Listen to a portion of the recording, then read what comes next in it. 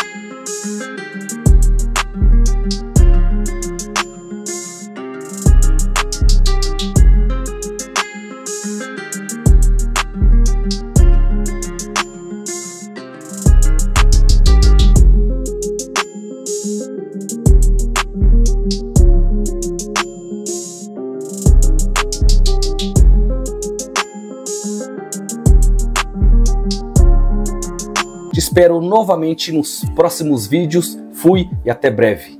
Valeu!